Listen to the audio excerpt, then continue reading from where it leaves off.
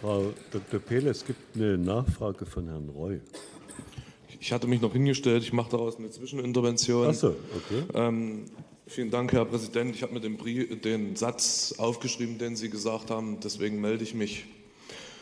Sie haben hier wirklich heute den Satz gesagt, dass Putin und Russland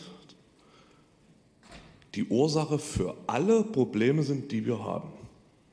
Diesen Satz haben Sie gesagt. Wir werden das, können Sie nochmal nachschauen, vielleicht gucken Sie nochmal, vielleicht haben Sie auch versprochen.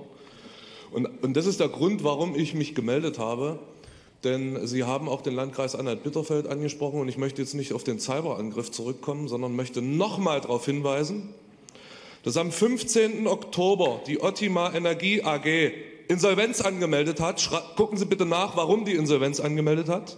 Nämlich wegen der Folgen einer völlig verfehlten Energiepolitik, die schon im letzten Jahr, also vor dem 24. Februar 2022, massive Preissteigerungen im Strombereich und im Gasbereich hatten, weil wir eine wahnsinnige Energiepolitik gemacht haben in diesem Land. Die dümmste auf der Welt, hat Frau Sabagenknecht gesagt.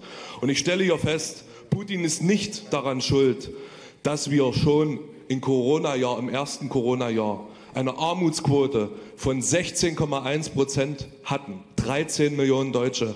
Eine Kinderarmut, die so hoch ist wie nie zuvor. Putin ist auch nicht dran schuld, dass wir 2000 Tötungsdelikte hatten von Ausländern zwischen 2000 zwischen 2016 und 2000. An all diesen Problemen, und ich könnte jetzt noch eine Liste weiter hier vortragen, ist Putin nicht schuld. Die einzigen Schuldigen daran, das sind Sie und Ihre Partei SPD, die seit Jahren dieses Land regiert haben. Herzlichen Dank für die Aufmerksamkeit.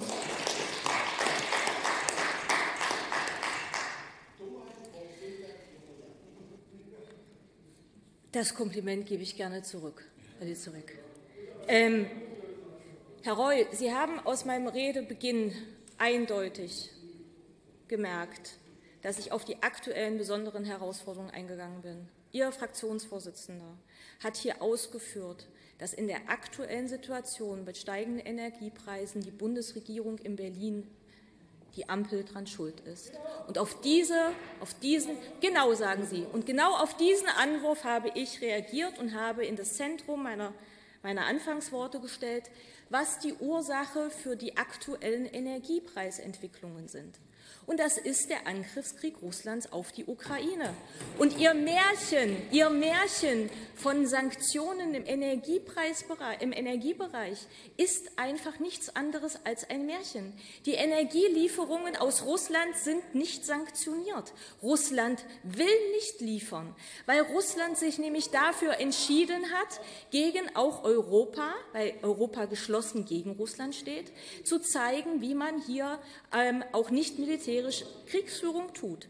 Und deshalb ist es gut, dass in Berlin Entscheidungen getroffen wurden, um die Energiesicherheit Deutschlands abzusichern.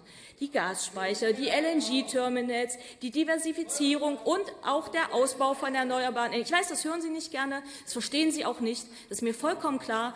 Aber genau auf diesen Aspekt habe ich hingewiesen, Herr Reul. Und an dieser Entwicklung ist Putin der Hauptschuldige. Dabei bleibe ich, und da wird es Ihnen schwerfallen, mir da das Gegenteil zu beweisen. Vielen Dank.